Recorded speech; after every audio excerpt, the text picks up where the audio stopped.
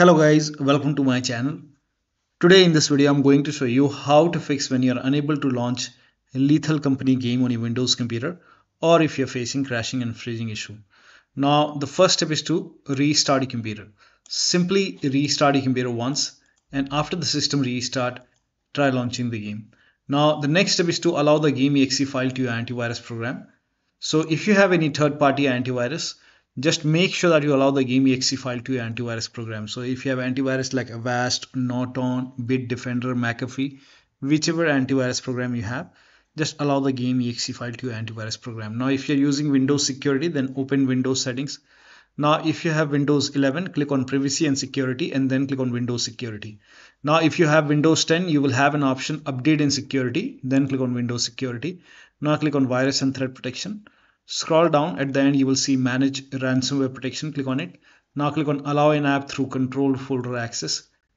Click on yes to allow. Now click on add an allowed app. Now click on browse all apps. Now go to the game installation folder. If the game is installed in C drive, open C drive. Program files x86. Open the Steam folder. Now open the Steam apps folder. Now open the common folder. Now open the lethal company folder now over here you will find the game exe file. Select the game exe file and then click on open. And check if there is any other exe file for the game. So this is the only exe file. Add it and then once you add it over here now type in control panel in windows search box and then click on control panel.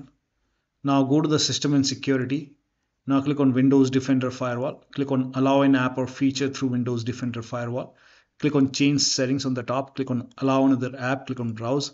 And then again go to the game installation folder and open the game folder.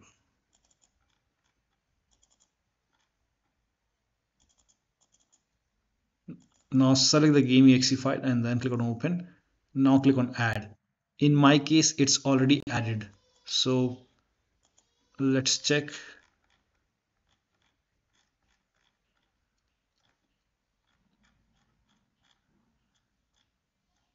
yeah game is added. Once the game is added over here now click on ok and then launch the game and then check. Now the next step is to run the game as an administrator from the game installation folder. Now for this make a right click on the game select manage then click on browse local files. It will take you to the game installation folder.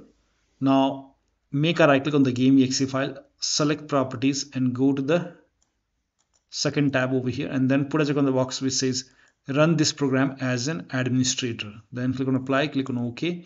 Make a double click launch the game from here. So instead of launching the game from steam you can launch the game from the game installation folder. Just make a double click over here.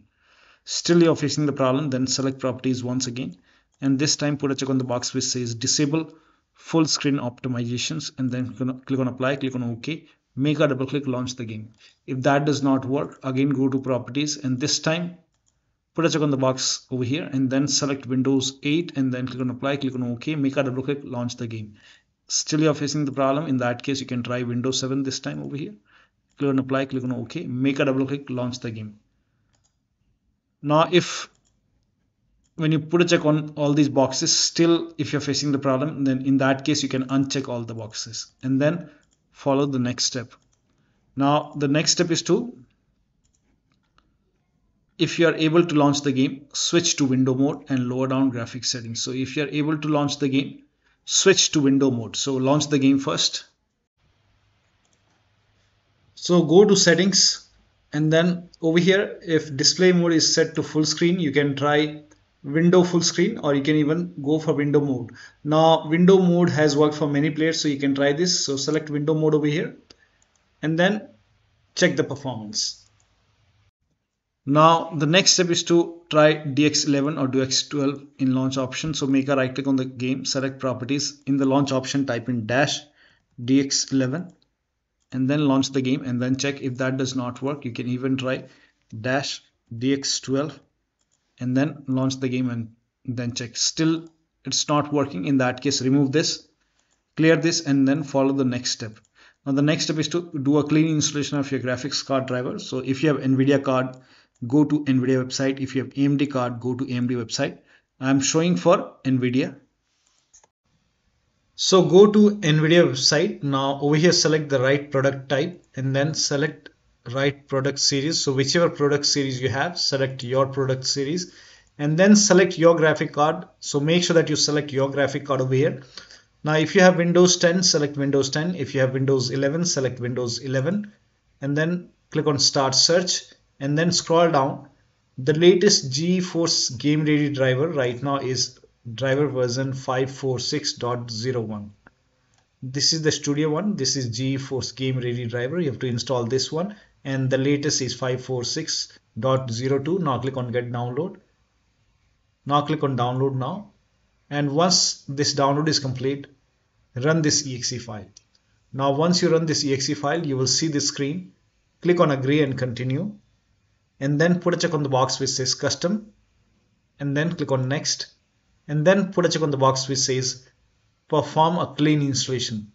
Make sure that you put a check on perform a clean installation and then click on next and let the installation complete and after the installation restart your computer and then launch the game. Now the next step is to laptop users with dual graphic card make sure that you run the game on dedicated graphic card. Now for this type in graphics settings in windows search box and then click on graphics settings now click on browse over here go to the game installation folder and then open the game folder.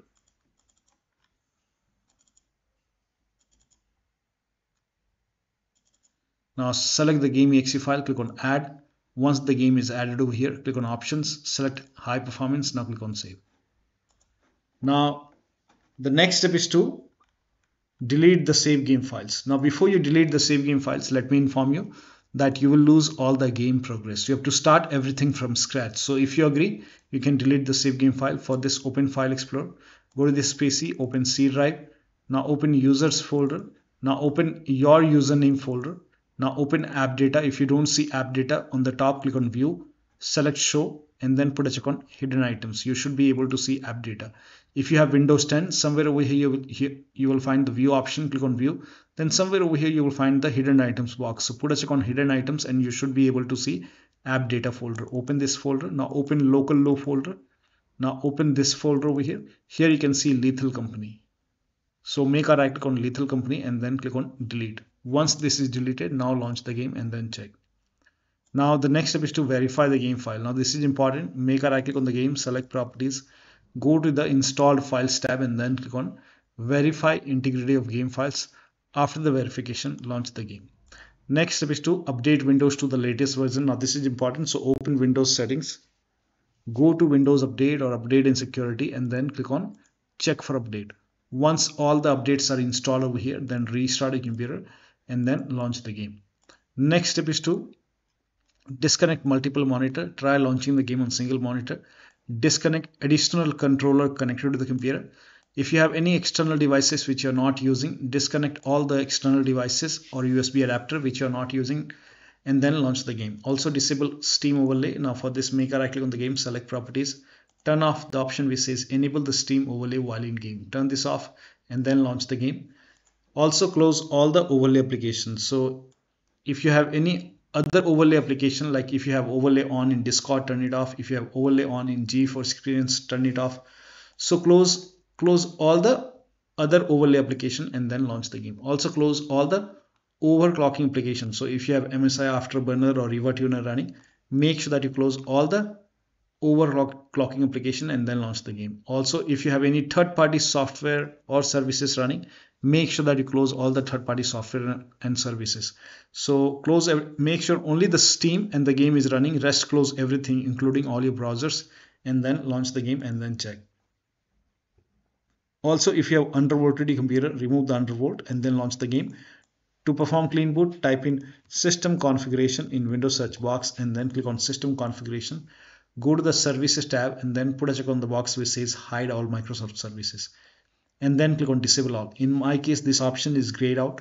I already did it. In your case, this would be highlighted. So make sure you put a check on hide all Microsoft services first and then click on disable all. Then click on apply, click on OK. You will see a restart option, restart your computer and then launch the game.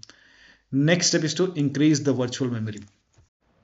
So to increase the virtual memory, type in view advanced system settings in Windows search box and then click on view advanced system settings and then click on the first settings and then go to advanced tab and then click on change over here and then select the drive so uncheck the box which says automatically manage paging file size for all drives. Uncheck this box and select the drive where the game is installed. So select the drive and then once you select the right drive now put a check on custom size and for initial size it's 1.5 into total RAM. So you can check the total RAM in Windows settings. You can go to system and then go to about and total RAM in my case is 16 gigabyte. So you can calculate accordingly. In my case it's 16 GB so I will calculate as per 16 GB so and first of all we have to convert 16 GB into megabyte. So we will open calculator. So type in calculator in run box and then click on ok. And over here uh, it's 16 1.5 into total RAM. Total RAM in my case it's 16 RAM 16 GB so 1 16 into 1024 1024 is actually 1 GB is equal to 1024 megabyte. So 16 GB in megabyte will be 16384 into 1.5 1.5 into total RAM. This is my total RAM in megabyte. Now 1.5 into total RAM total RAM that is into 1.5 so in my case initial size is 24576 24576 and maximum size is 3 into total RAM. Now total RAM in my case that is 16 gigabyte. I have 16 gigabyte of RAM. So 16 into 1024 I have converted this in megabyte. Megabyte now that is 3 into total RAM. So total RAM is this much into 3 that is 49152 49152 4915152 one. Now click on set over here. Then click on ok. Ok apply. Ok ok. Now restart computer make sure that you restart your computer after this now the next step is to install visual c++ file for this copy this link the link is provided in the video description open this link in a browser it will take you to microsoft website over here you can see visual Studio 2015, 17, 19 and 22. Download x86 and x64. So click on x86 and then run this exe file. So download both x86 and x64.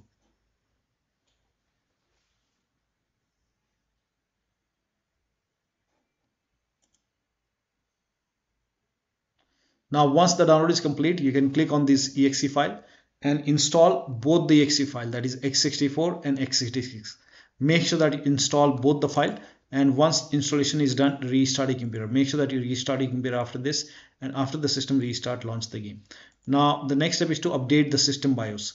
Go to your system manufacturer website. So if you have a Dell computer go to Dell website. If you have a Lenovo computer go to Lenovo. If you have HP computer go to HP website. So go to your system manufacturer website. Select your model number. Make sure that you select your computer and then find the latest BIOS update available.